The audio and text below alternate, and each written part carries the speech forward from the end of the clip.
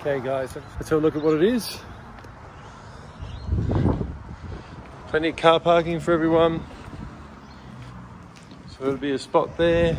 The whole thing is solar powered. So you see here, all our beautiful solar power coming in.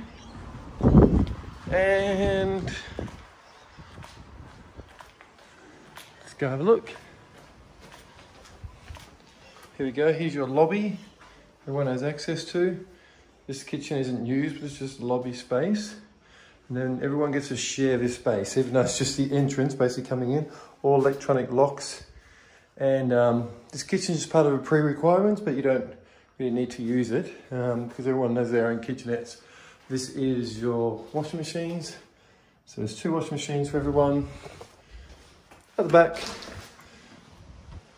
two big um, drying racks there, clotheslines, whatever you want to call it. So close this off now. And now let's go look upstairs.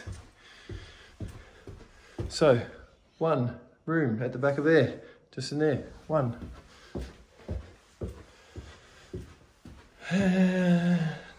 one room there, one room there, one room here, one room here. Let's look at number four, beautiful four. As you come in, you've got your own bathroom, really big, really nice, plenty of room. And then you've got your whole kitchenette here. Just got a beautiful big deep kitchen here. Hi guys. and then, um, yeah, and then this is your like mini apartment. It's like a hotel room, right? You've got all your toasters and everything already fully furnished, all ready to go. Your hot plate, your extractor, but just a hot plate, that's it. There's no oven in here. Everyone's just very happy to use their hot plates, their microwave, the fridge.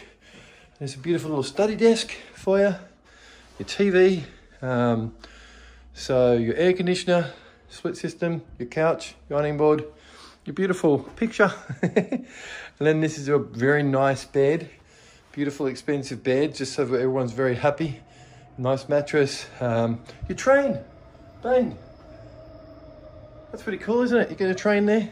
And um, then you get your own little balcony. So here we go. There's a little balcony. Just down there is our train station, so it's pretty cool.